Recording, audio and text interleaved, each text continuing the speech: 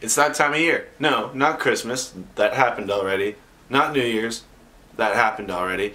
We're going to talk about some lists of movies, like the best of this year, except that's not this video, because I haven't seen all the movies of this year yet. So I'm going to do my list of most anticipated for next year, and it's going to be a great time. Fair warning, even though you see a Dark Knight poster and a Star Wars poster right behind me, uh, that would indicate that I'm a huge nerd. Uh, this list won't be full of like comic book movies and stuff like that. There may be like one or two, but it's uh, like I'm not going to be going through and being like, so Thor Ragnarok comes out this year, Guardians of the Galaxy comes out this year, because you already know that, and you're going to go see it, and it's going to make a lot of money, and it's going to be great. And obviously, I don't really know the the films that are going to be in big Oscar contention next year because the film festivals haven't really happened yet. The uh, a lot of those movies operate on uh, word of mouth, reception, stuff like that. But I compiled a list of films that intrigue me the most that I know about going into this year. And before I start my list, I'm just gonna name some honorable mentions that haven't made the list, but I, I think are worth mentioning. Free Fire, I know it came out this year already, like it was at, a, it was at TIFF. Uh, I know that technically it came out this year, but the wide release is next year, and I'm gonna see it in 20s, uh, next year. Uh, 2017. This year, this current year that we're in right now. Alien Covenant, I'm intrigued by. Kingsman The Golden Circle, uh, the sequel, and it has Channing Tatum in it. I know that about it. Beauty and the Beast, uh, even if it's not really great, it's it's gonna be, you know, lovely. Going Places. This movie is supposedly the spin-off for the character of Jesus from The Big Lebowski starring John Turturro. I don't know if it's actually gonna happen, but I would be very excited to see it. And Logan, because if the movie is as good as the trailer, it's probably going to be pretty good. Oh, and there's one more. Uh, the Lego Batman movie. I think it's just going to be, it's going to be a ride. It's going to be a, a, a fun time for the whole family. And now onto my list. I am a big fan of top 10 lists in any format. I'm frankly addicted to them. I, I, love the format of a top 10 list. So it pains me to have to say that I have to make it a top 11 list because one of the films in the list I'm actually not sure if it's going to come out this year. Not sure if it's going to get made. But without further ado, here's my number 11. Starting out this list for me is Get Out, which is Jordan Peele's feature directorial debut. There is no key in this Peele. It is just Peele. And it's not even a comedy. Like, there might be funny parts to it, but it's a horror movie. Like, it's a straight up horror movie about a black guy who goes to uh, see his girlfriend's family. His girlfriend's white, and their house is like cursed and stuff. And I'm really interested to see how it turns out because the trailer actually really intrigued me, and it's coming out in February.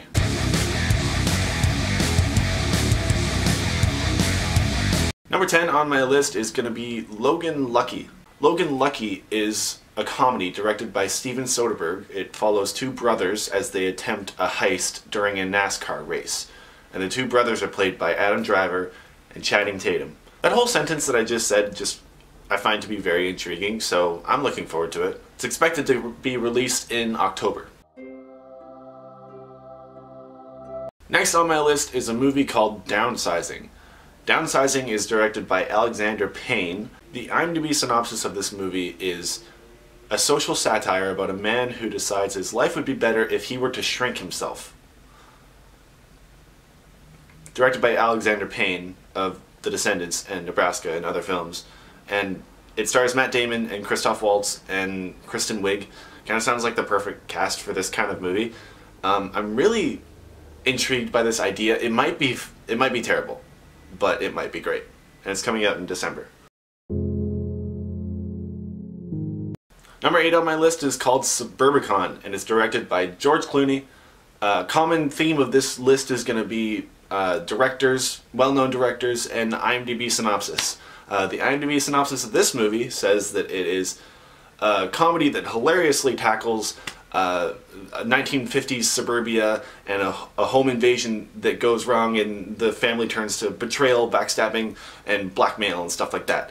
And the cast includes Julianne Moore, Oscar Isaac, Matt Damon, and Josh Brolin.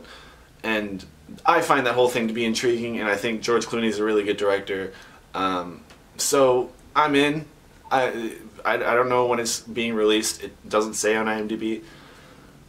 I'll be holding my breath for however long it takes. Next, I have a sci-fi film called Annihilation. Annihilation is directed by Alex Garland, who did Ex Machina, one of the better sci-fi films of the last few years. But this one, I think, is is a bit of a step in, in, in a different direction. Uh, this one, the IMDb synopsis is of it, it says a biologist who sets out on an adventure where the rules of nature don't apply. So it's probably going to be like super cerebral and like dreamlike and and kind of intellectual and weird and, and, and that's what I'm hoping for. Of of course no there's no pictures or a trailer or even a release date, but those names attached oh yeah, one of the names attached is Natalie Portman. Great actors. Um, that gets me excited and I'm really looking forward to it. Of course, it doesn't have a release date yet on IMDb. Who would have known?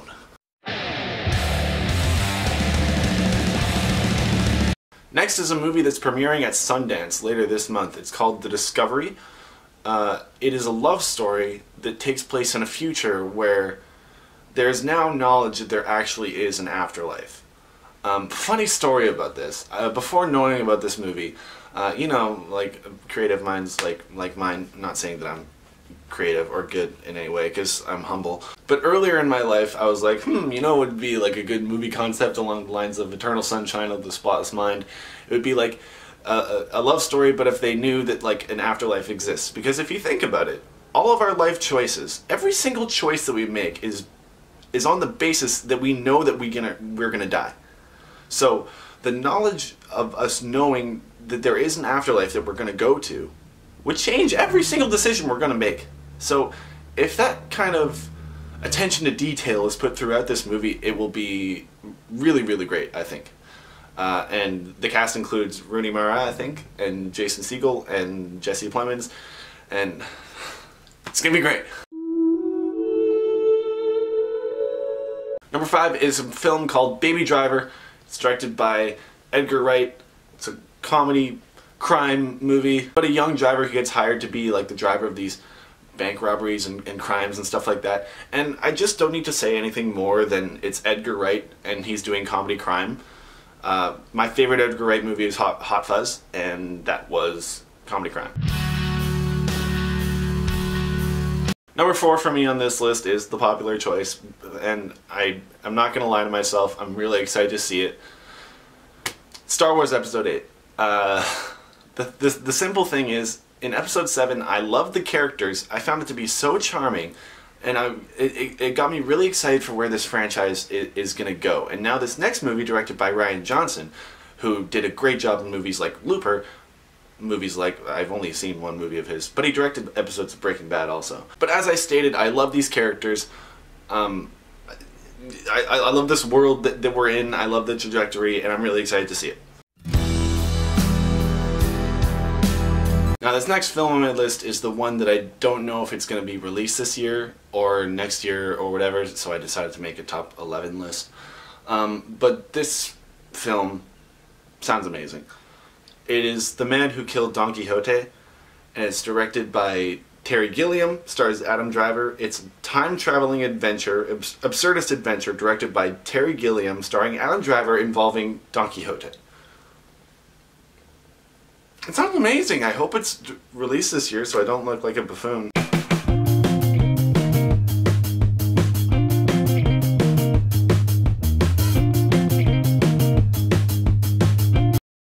Number two on my list is Blade Runner 2049. The trailer was really good. Uh, it showed very little, but that's okay. The trailer is very good. I love Blade Runner. It's like one of my favorite movies.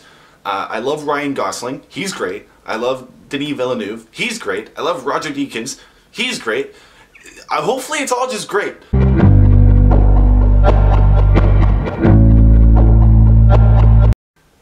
And now for my number one choice, and you know that it's a Jake Sheardown list, when uh, the number one choice, the number one most anticipated movie, doesn't even have a title yet. Doesn't have a release date or a title.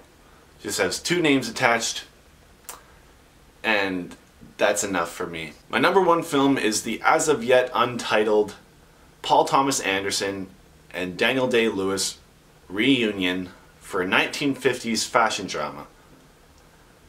I don't really need to say anything more. It's Daniel Day Lewis's first film in like five years. Dan- it's Daniel Day Lewis. Oh my, it's Daniel Day Lewis. He's doing a film in 2017.